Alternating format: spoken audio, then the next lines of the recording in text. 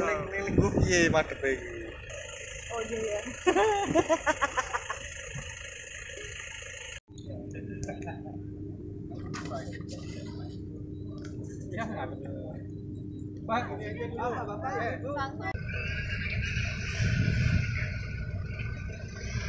Guys, letakan ora ireng iki.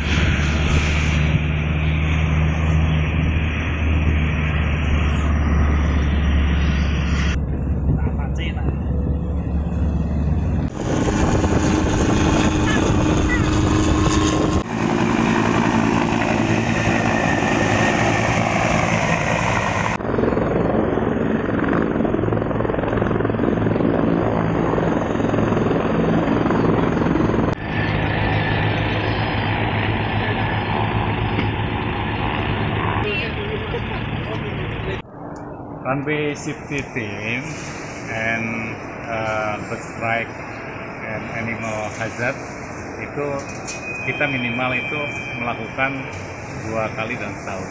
Minimal dua kali setahun. Acaranya apa? Acaranya adalah kita pertama melakukan review yang terkait dengan uh, safety keselamatan ya kan? Baik itu keselamatan yang diakibatkan oleh orang oleh uh, barang ataupun pesawat atau uh, ground equipment atau prosedur. Nah ini yang harus kita uh, sama-sama uh, bahas di sini. Nah uh, di awal tentunya masukan-masukan apa yang akan uh, apa yang akan berpotensi menimbulkan uh, bahaya keselamatan. Misalkan pertama ini dalam menyambut uh, musim hujan, ya kan? Musim hujan atau cuaca ekstrim lah ya. Ini juga harus kita antisipasi. Kedua terkait dengan kondisi runway. Di kita runway-nya tidak ada taxiway paralel yang dari ujung ke ujung runway, sehingga hanya setengah. Nah ini mengakibatkan pesawat harus melakukan namanya uh, turning di runway. Turning di runway, ya berputar di runway. Nah, itu dilarang melakukan turning dengan satu roda terkunci karena dia akan menggores landasan.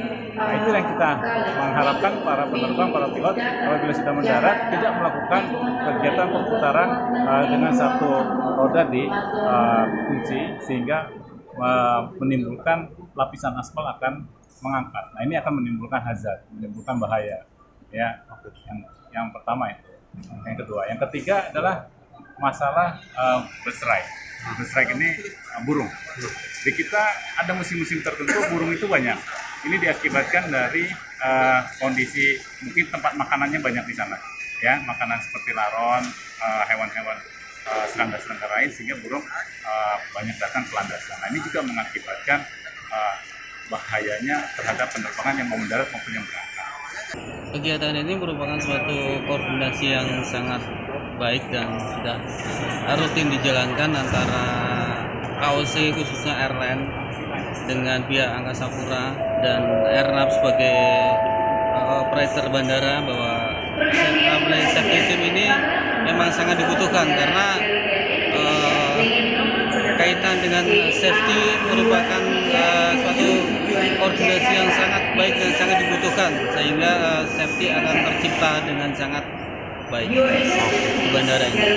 Pak tadi apa aja Pak yang sudah ditemukan Pak dalam iya. kegiatan itu? Ya paling uh, di kita sambil uh, ngecek di runway itu uh, ada beberapa uh, goresan-goresan di runway dan ada uh, ya ada lubang kecil di runway itu kan mungkin dari uh, pengguna pengguna runway yang tidak disiplin dari airline. Nah, itu memang uh, sudah ada himbauan dari Angkasa Pura untuk uh, tidak menggunakan runway lock istilahnya ya, dan memutar dengan mengunci roda sehingga akan uh, membuat dampak luka terhadap runway dan itu akan uh, membahayakan uh, keselamatan.